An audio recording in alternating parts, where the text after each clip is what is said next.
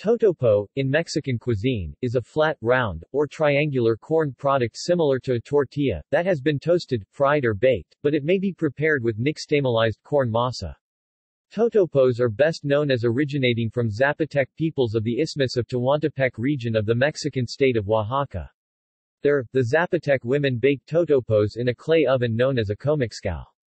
Totopos resemble a round, baked tortilla chip or certain types of Scandinavian flat bread, however, unlike tortillas, salt is added to the masa and holes are made in the disc prior to baking. Totopo may also refer to triangular fried tortillas totopos de maíz, which are essentially tortilla chips. When the whole round tortilla is baked or fried it is generally known as a tostada. An important feature of the baking and salting process is preservation. To prevent the decomposition of the corn and growth of mold, regular tortillas generally need to be eaten the same day as they are made, or stored cold, due to the moisture content, whereas totopos may be stored for future consumption, in the same manner as dry crackers. In some cases, fried tortilla chips commercially made both in Mexico and the United States are labeled as or referred to as totopos, although they are not made in the manner of the Oaxacan totopo.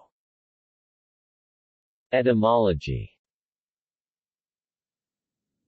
the name Totopo comes from the Aztec or Nahuatl Tlaxcaltotopochtli. This name is a compound of the word for a tortilla, Tlaxcalli, plus the word for thunder. The combination means approximately tortillas that are noisy to chew. References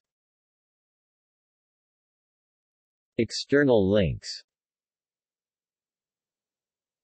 Photos of totopos and explanation in Spanish link broken as of 9 May 2009, archive copy.